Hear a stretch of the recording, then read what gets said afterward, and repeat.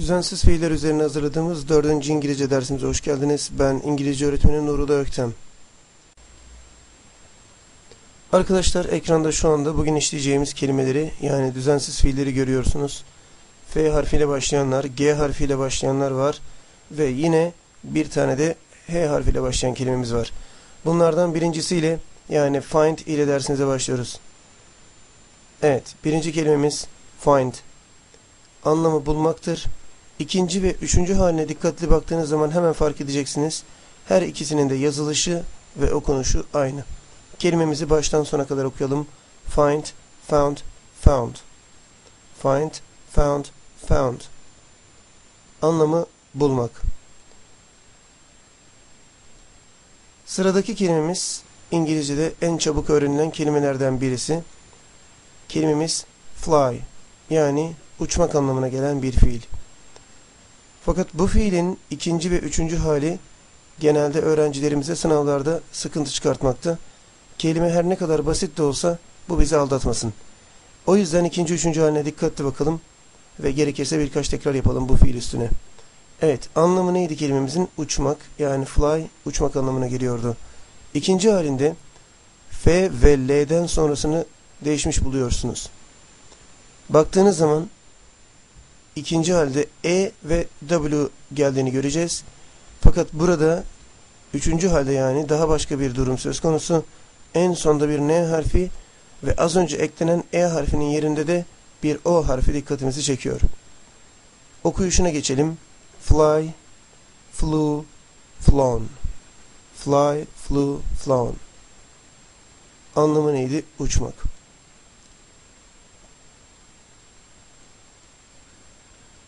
Forbid yeni kelimemiz. Anlamı yasaklamak. İkinci halinde ilk halde gördüğümüz i harfi, şuradaki i harfi artık yok. Bunun yerine sadece bir harf gelmiş. O gelen harf ise a harfi. Bu kelimenin yani bu düzensiz fiilimizin ikinci halinde ayrı bir nokta daha değişmiş. En sonda olmayan bir e harfi ilave edilmiş. Forbid forbade şekline dönüşmüş. Üçüncü haline geçtiğimizde ilk hale yakın bir görüntü söz konusu. Forbid kelimesi aynen var fakat sonuna bir de D, E ve N harfi eklenmiş. Böyle olunca fiilimizin okunuşu da haliyle değişmiş ve forbidden olmuş. Burada aynı harften iki tane olması sizi şaşırtmasın.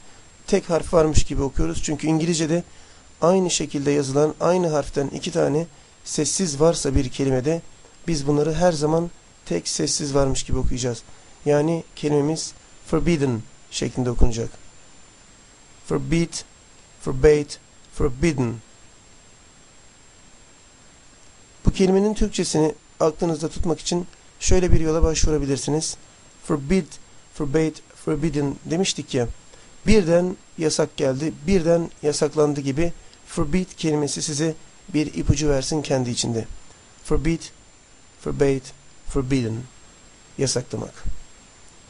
Az önce başka bir ke kelime görmüştük. İkinci ve üçüncü hali çok karıştırılan bir fiildi bu. Fly fiili. Orada da bir şeye dikkat etmiştik. Neydi bu? İlk halinde yani kelimenin yalın halinde F ve L'den sonra bir Y harfi vardı. Fakat bu ikinci ve üçüncü halde dikkatimizi çekecekti. Niye? Çünkü buraya bir değişiklik getirmiştik ve artık Y harfi yoktu. İkinci halinde E ve W, W gelmişti. Ve okunuş E harfiyle ya da I harfiyle değil flu şeklindeydi. Genelde İngilizce'de biz E harfini I diye okuduğumuz için bu öğrencilerimizi şaşırtıyor. Burada dikkatli olalım. Üçüncü halinde de E harfinin de gittiğini görmüştük. O ve en sonunda da N harfi ilaveleri söz konusuydu. Okunuşu flown, fly, flew, flown. Bu iki kelimede dikkatli olmakta fayda var. Çünkü gerçekten şaşırılmaya müsait ikinci halleri ve üçüncü halleri var. Dördüncü fiilimizdeyiz. Kolay kolay unutmayacağınız bir fiil olacak bu. Anlamı unutmak ama biz bunu unutmayacağız.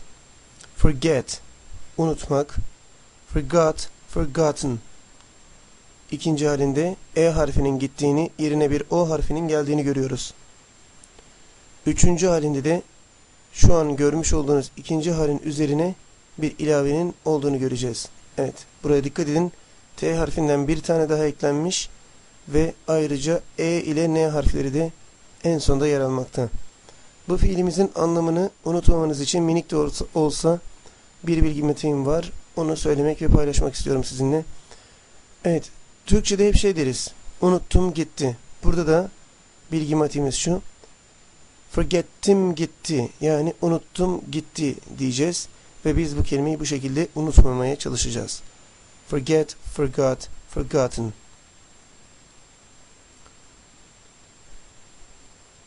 Affetmek ve bağışlamakla ilgili bir fiildeyiz.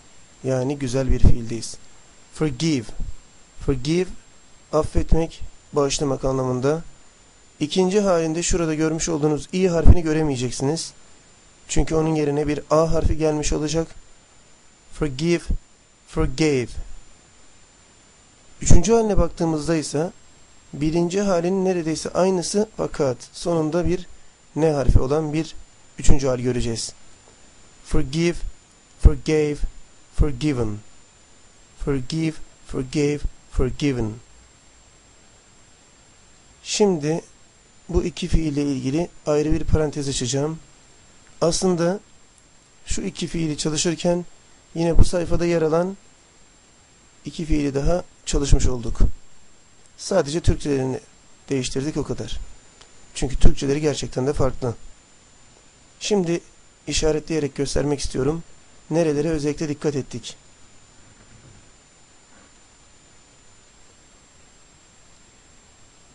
Şuraya dikkat. Forget, forgive derken aslında kelimelerin içinde bu iki kelimeyi de barındırdığımızı görebiliyoruz. Peki ikinci hallerde durum nasıl? Önce alttakilere bakalım.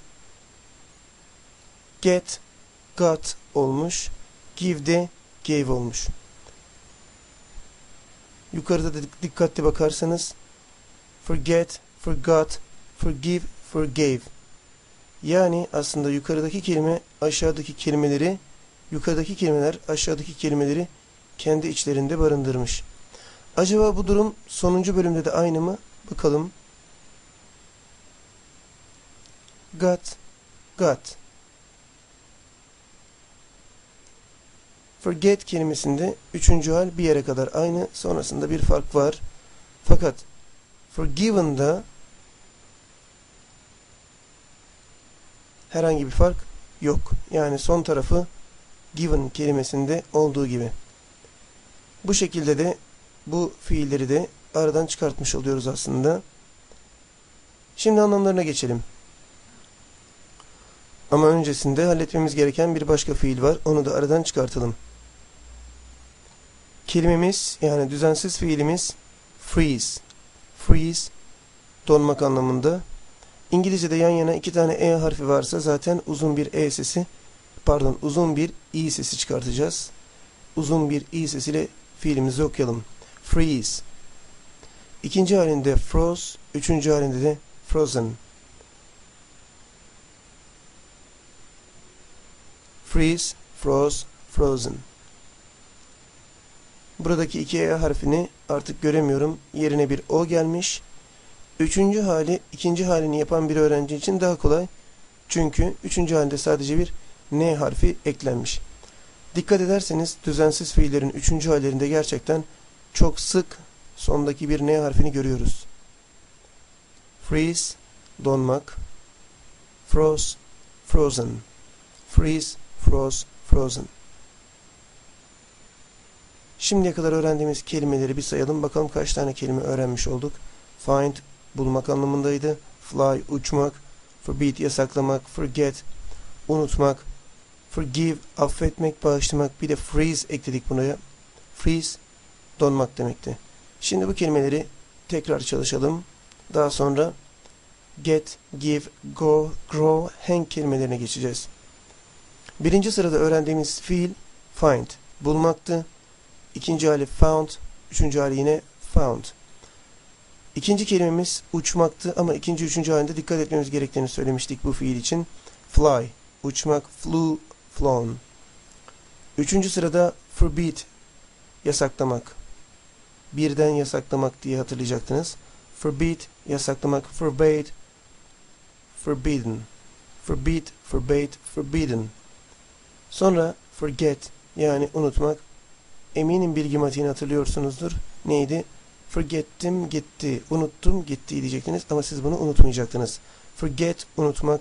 Forgot, forgotten. Sonrasında forgive, affetmek, bağışlamaktı. Forgave, forgiven.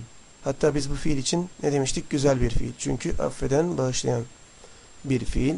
Freeze, donmak. İki tane E harfi vardı. Okurken uzun bir i sesiyle okuyacaktık. Fakat bu E harflerini ikinci ve üçüncü hallerde kaybediyorduk. Bu yüzden de dikkatli olacaktık. Freeze, frost, frozen. Geldik diğer bir kelimeye. Az önce işaretleme yaptığımız get fiiline. Aslında bu fiilin birden fazla manası var. Burada yazdıklarımızla da sınırlı değil. İngilizce'de çok sık kullanılan bir fiil. Anlamak anlamına dahi gelen bir fiil. Ama biz ilk etapta buradaki anlamların üzerinde yoğunlaşalım. Hazırsanız başlıyoruz. Get, elde etmek, olmak, ulaşmak. İkinci, üçüncü hali got, got şeklinde kullanılıyor. Get, got, got. Fiilimizi bir kez daha okuyalım. Get, got, got. Get, got, got. Şimdi bu fiille ilgili ayrı bir parantez açacağım. Bu fiilimiz normalde üçüncü halinde yine ikinci halinde olduğu gibi got fiiliyle kullanılabiliyordu. Fakat bunun şöyle de bir alternatifi var. Dikkatli olmanız lazım. Günün birinde bununla da karşılaşabilirsiniz. Öyle bir durumda şaşırmamanız için şimdi yazacağım haline de dikkat edin.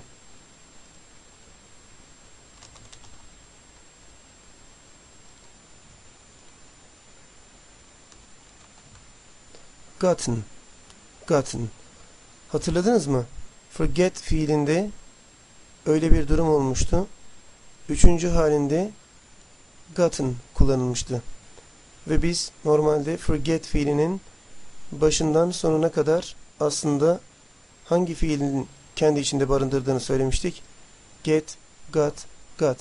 Ve aslında bunu da got fiili, get fiili için üçüncü halde kullanabileceğimizi böylece görmüş olduk. Demek ki forget fiilin içindeki get'in üçüncü halinde böyle bir seçenek söz konusu. Biz daha çok şunu kullanacağız. Yani ikinci ve üçüncü halde aynı şekilde yazılanı. Ama böyle de bir kullanım var ve yanlış değildir. Fiilimizi bir kez daha çalışalım. Sonra sıradaki fiillere geçelim. Get, elde etmek, olmak, ulaşmak. Got, got. Az önce üzerinde işaretlemeler yaptığımız diğer bir fiilimizdeyiz. Fiilimiz give. İkinci hali gave, üçüncü hali given. Birinci halinde fiilimizde bir i harfi var fakat bu i harfi ikinci halinde yok. Zaten gördüğümüz birçok fiilde ikinci harfte bu şekildeki değişiklikleri görmüştük. i'lerin ikinci halde a harfine dönüşmesi gibi. Tabi bu bütün fiillerde olacak diye bir kaide yok. Give, gave, üçüncü halinde ise fiilimiz ilk haline dönüyor fakat sonunda bir n harfi ilavesi var. Give, gave, given. Bu fiilimizin Türkçe anlamı aslında fiilimizin içinde verilmiş bir kopya. Nasıl mı? Şimdi görelim. Fiilimize dikkatle bakalım. Son iki harfi V ve E harfleri.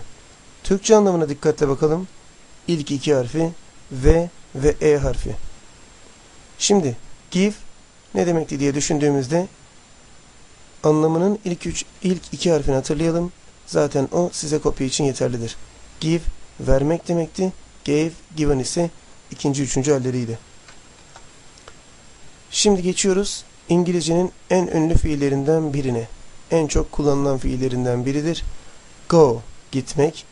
İkinci haliyle birinci hali arasında hiçbir benzerlik yok. Hiçbir harfi dahi tutmuyor birbirini. Go ikinci halde tamamen bambaşka bir kimliğe bürünmüş. Went. Üçüncü halimizde ise baştaki ilk iki harfi bir daha alıyoruz. Sonlarına N ve E harfi getiriyoruz. Genelde biz hep E'ni, E harfini N'nin önünde görmeye alışıktık üçüncü hallerde. Fakat burada ters bir durum söz konusu. Go, went, gone. Üçüncü halimiz gone.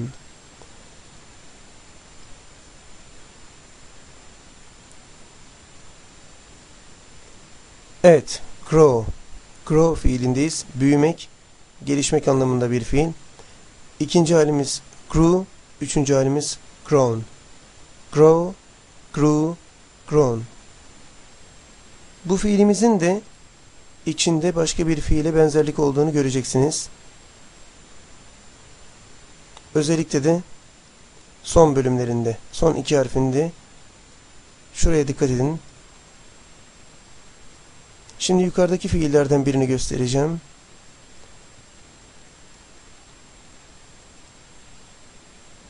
Evet. Fly, flew, flown, grow, grew, grown. Bu şekilde iki fiilin ortak noktaları olduğunu görüyoruz. Demek ki ikinci, üçüncü hallerde son harfler bu şekilde bitebiliyor. Bu da bazı fiillerin ortak noktası olsa gerek. Şimdi son fiilimize geçiyoruz. Tabi öncesinde yaptığımız değişiklikleri geri alıyoruz. Son fiilimiz hang. Bir daha işaretleyelim. Son fiilimiz hang. İkinci ve üçüncü hali ise çok basit. Sadece bir harf değişikliği var. Ve ikinci ile üçüncü hallerin yazılışlarının, okunuşlarının aynı olduğunu da görüyoruz. Hang, A harfiyle yazılan bir fiildir. Fakat ikinci ve üçüncü hallerinde bu A harflerini hiç göremiyoruz. Sadece okunuşta bir A sesi duyuyoruz o kadar. Hang, hung, hung, hang, hung, hung. Asmak demektir. Bugün öğrendiğimiz tüm fiilleri hızlı bir tekrarla bitiriyoruz ve daha sonrasında önünüzdeki quiz kağıtlarına soracağımız fiilleri yerleştirip uygun cevapları vereceksiniz. Quizimizin olduğunu unutmayın. Birinci fiilimiz find. Bulmak demekti. Found, found. İkinci fiilimiz fly. Hani şu ilk halini yazmak kolay dediğimiz fiil. Fly, flew, flown. Üçüncü fiilimiz forbid. Forbid. Forbade, forbidden. Bunun da bir bilgi matiği vardı. Forget. Forget, unutmak demekti. Forgot, forgotten. Forgive. Affetmek, bağışlamak. Forgave, forgiven. Yukarıdaki kelimemizin Türkçesini unutmuş olabiliriz. Ne demekti? Forget, unutmaktı. Forgot, forgotten. Unutmamamız gereken fiili unuttuk galiba. Forgive, affetmek, bağışlamaktı. Bir kez daha okuyalım bunu. Forgave, forgiven. Freeze, donmaktı. Froze, frozen. Get, elde etmek, olmak, ulaşmak. Got, got. Give, yukarıdaki fiilin içinde geçmişti. Give, vermekti. Anlamını zaten işaretleyerek çıkartmıştık. Give, vermek. Gave, given. Go, gitmek. Went, gone. Go, went, gone. Grow, büyümek, gelişmekti. Son harflerini, son iki harfini yukarıda ve aşağıdaki iki fiilde ortak noktada dikkat etmemiz gerektiğini söylemiştik. Grow, grew, grown. Yine son üç harfinin yukarıdaki uçmak fiilindeki son üç harfle aynı olduğunu görmüştük. Hang, hung, hung. Okunuşu da anlamı da ikinci üçüncü halde kolay olan bir fiil. Hang, asmak, hung, hung. Şimdi quizimize geçiyoruz. İlk video derslerimizi izlediyseniz buna benzer bir quiz kağıdı kullanmanızı istediğimi bileceksiniz, hatırlayacaksınız. Şimdi quizimizin diğer quizlerden bir farkı olacak. Çünkü bugünkü quizde 10 değil 11 tane fiilden sorumlusunuz. Aslında bir bakıma şanslısınız. Çünkü bugünkü videoda bir fiil daha fazladan çalıştınız. E şimdi ben de onunla ilgili sizden geri dönüt almak zorundayım. Evet quizimize başlıyoruz. Kağıdı kalemi hazır edin. Quiz time. Quiz başlıyor. Birinci fiilimiz H harfiyle yazılan tek fiil yani hang hang. İki numarada F harfiyle gelecek olan bir fiil var. Freeze. Freeze. Üçüncü fiilimiz go. Dördüncü fiilimiz forbid. Forbid. Beşinci fiilimiz find. Find. Altıncı fiilimiz üç harfli bir fiil get. Yedinci fiilimiz az önce sorduğum fiili içinde barındıran bir fiil forget. Sekizinci fiilimiz forgive. Forgive. Dokuzuncu fiilimiz üç harfli bir fiil fly. Fly. Onuncu fiilimiz give. On birinci ve son fiilimiz grow. Grow. On birinci fiilimizi bir kez daha söylüyorum. Fiiliniz grow. Şimdi quiz kağıtlarınıza cevap yazma zamanı. Fakat dersimizi bir süreliğine durdurun. Çünkü ben cevapları yazmaya geçeceğim. Kağıdınızı bitirdikten sonra cevapları ekrandan kontrol ediyorsunuz. Hepinize bol şans, başarılar. Fiillerimizi yazarak başlıyoruz cevaplamaya. Birinci fiilimiz neydi? Tek H harfiyle yazılan fiilimizdi. Yani H harfiyle başlayan tek bir fiil vardı. Şu ana kadar çalıştıklarımızın arasında o da şu an ekranda gördüğünüz fiildi. Hang.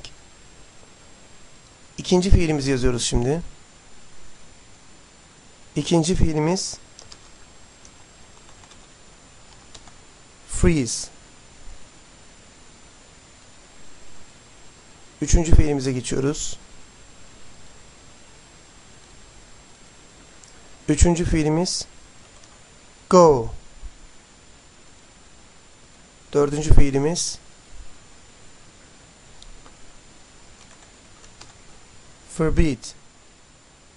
Beşinci fiilimize geçelim. Yine F harfinden bir fiildi. Find. Altıncı fiildeyiz.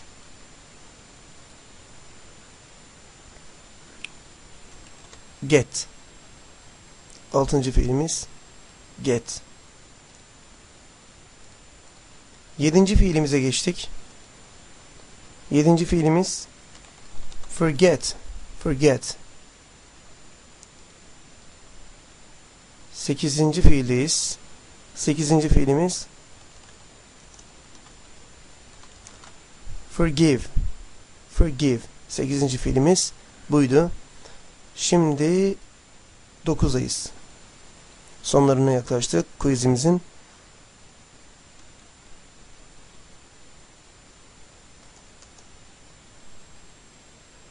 Dokuzuncu fiilimiz fly. Fly'dı. Bunu da yazdınız. Eminim bunu yazmakta zorlanmamışsınızdır. Onuncu fiildeyiz. Sondan ikinci fiilimizdeyiz. Onuncu fiilimiz give. Artık quizin son kelimesine geçelim. Son kelimemiz yine G harfiyle başlayan bir fiildi. Fiilimiz grow. Fiilleri yazdık. Şimdi geçelim fiillerimizin Türkçe karşılıklarına. İlk fiilimiz hang. Anlamı asmak olacaktı. İkinci ve üçüncü hali kolay bir fiildi bu. Hang, hang. Bu fiille ilgili A harfini bir daha kullanmıyoruz. Sadece okunuşlarında A harfi olacak demiştik. İkinci ve üçüncü hallerinde aynı durumu yine görüyoruz. A harfi yok ama okurken hang, hang şeklinde okuyoruz. Yani A harfi varmış gibi. Freeze ne demekti? Donmak. İkinci halinde froze, üçüncü halinde de frozen kullanmıştık. Yine aynı cevapları yazdık. Go gitmek demekti.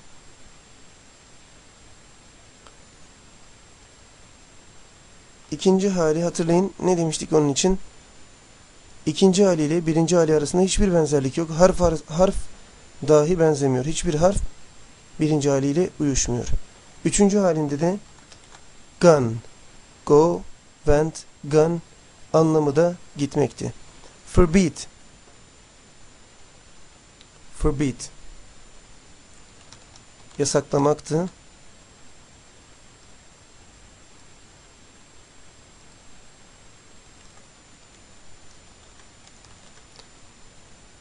Doğru mu? Kesinlikle doğru değil. O halde düzeltelim. Forbid, forbade, forbidden şeklinde cevap vermeniz gerekiyordu. Find, bulmak demekti. İkinci hali ve üçüncü hali aynı şekilde yazılacaktı. Find, found, found. Şimdi başka bir fiildeyiz. Get. Elde etmek. Biraz aşağı indirelim. Hatta biraz da geriden başlayalım çünkü bu fiil sığmayabilir. Elde etmek, olmak, ulaşmak. İkinci halini yazalım şimdi fiilimizin. Get, got. Üçüncü halimiz yine got şeklindeydi. Başka bir alternatifimiz daha vardı ama biz bunu tercih ettik. Hem pratik oluşu hem bir önceki haline benzeyişi hem de akılda daha kolay kalacağını düşündüğümüz için. Zaten günlük yaşamda da daha çok bunu tercih ediyorlar üçüncü halde. Evet, forget fiilindeyiz. Forget, umarım bunu unutmamışsınızdır. Çünkü kelimenin anlamı zaten unutmaktı ve siz bunu unutmayacaktınız. Forget, unutmak demekti. İkinci hali, forgot, biraz aşağı indirelim. Yukarıdan da kopya çekebilirsiniz. Üçüncü halimiz forgotten şeklinde yazılacaktı. Evet, orayı da doldurduk. Gittikçe sona doğru yaklaşıyorum. Umarım siz de benim yaptığım şekilde en doğru cevapları vererek doldurmuşsunuzdur quiz kağıdınızı. Forgive. Affetmek, bağışlamak anlamına gelmişti. Ve biz bu fiil için güzel bir fiil demiştik. Çünkü affeden, bağışlayan bir fiil. Yazalım, yazdık. Yerini değiştirelim. Evet, onu da yaptık. Forgive, affetmek, bağışlamaktı. Şimdi fiilimizin ikinci halini yazıyoruz. Forgave. Üçüncü halindeyiz. Biraz da düzeltelim. Üçüncü halinde yazdık ve yerleştirdik. Forgive, affetmek, bağışlamak. Forgave, forgiven. Forgiven. Bunu da yazdık. Şimdi fly. Uçmak anlamındaydı. İkinci halinde dikkatli olmamız gerekiyordu. İkinci ve üçüncü halinde. Fly, flew, flown. Fly, flew, flown. Uçmak demekti. Give, vermek zaten kendi içinde kopyası vardı. İkinci halinde i harfi düşmüş, yerine ne gelmişti? A harfi gave. Üçüncü halinde de ilk haline dönmüştük. İlk halinden farklı olarak sonunda bir n harfi ilavemiz olacaktı. Ekledik. Okunuşları nasıldı? Give, give, gave, given. Give, gave, given. Son fiile geçtik. Bugün biliyorsunuz bir fiilde fazladan yaptık. Yani şanslı gününüzdesiniz. Grow, büyümek, gelişmek demekti. Düzeltelim. Şimdi bu fiilimizin ikinci halini yazalım. Doğru mu? Evet. Peki böyle miydi? Hayır. Grow, grew. Üçüncü halinde de grown. Grow, grew, grown. Büyümek, gelişmek anlamındaydı. Fiillerimizi sayalım. Eksik olmasın. Kaç tane fiil sormuştuk? 1, 2, 3, 4, 5, 6, 7, 8, 9, 10, 11. Evet gerçekten de 11 tane düzensiz fiili bugünkü dersimize görmüş olduk. Quiz'de de kontrolden geçirmiş olduk. Umarım quiz sonuçlarımız iyidir ve siz bu işi başarmışsınızdır. Bugünkü dersimiz bu kadar. Başka bir derste görüşmek üzere. Hepinize başarılar diliyorum. Hoşçakalın.